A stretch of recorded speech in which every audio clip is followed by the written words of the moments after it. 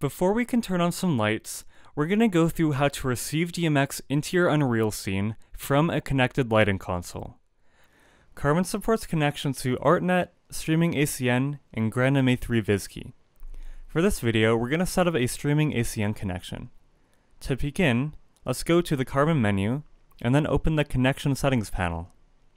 I'm going to dock this to the bottom left of the editor. Adding a connection is as simple as pressing the Add Connection button. First things first, I'm going to name this SACN1. And then I'm going to change the protocol from ArtNet to SACN. Next, you can either manually type in your IP, or press this dropdown, and you can automatically choose one of the IPs. Next is the input universe range for this specific connection. So I want this SACN connection to go from universe 1 to 5. Under it, you can set an offset that this protocol will be mapped to. So I'm just going to start this at universe 1 inside Carbon. Here you can also mute and solo a specific connection. So before I click apply, I'm going to add a secondary connection. So if I add another one, you can see that we have connection 2. So I'm going to call this SACN2. Or you can even do multiple different protocols. So I could call this ArtNet 1. Leave this at ArtNet, and then choose the IP you'd like.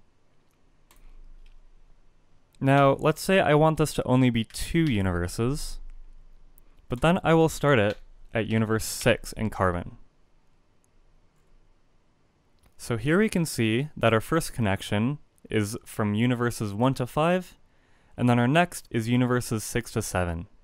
I'll click apply, and now we will see a DMX monitor, and some of our DMX channels see activity.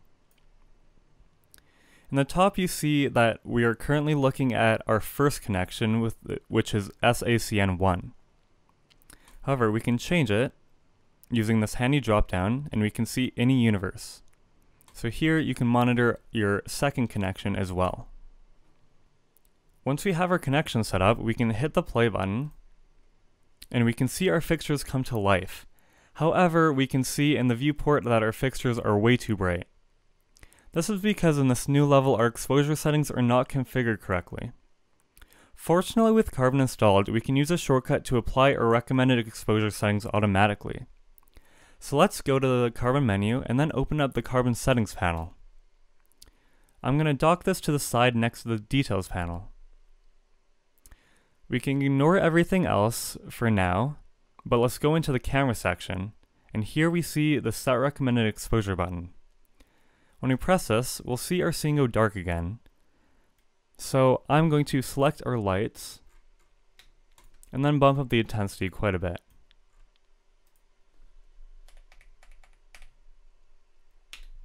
As a reminder, Carbon uses lumens as our light units to ensure that our fixtures are accurate to real-world fixtures. So, if I search for post-process volume, we can see that clicking the Set Recommended Exposure button added this into our scene. So in the Details panel, let's go to the Camera section, and we can see that it has applied the recommended exposure settings. So we recommend adjusting exposure as if you were using a camera. So to quickly bump up the brightness, you can bump up the ISO, and we can see our seeing it slightly brighter. Remember that your exposure settings may be different depending on the scene that you are creating. An indoor scene may be different from an outdoor scene, for example. Please refer to the X-Zone exposure video linked in the description for a more detailed explanation. Now that you know how to connect Carbon to your lighting console, We'll next explore how you can add to your design or even start from scratch using a robust library and scene tools.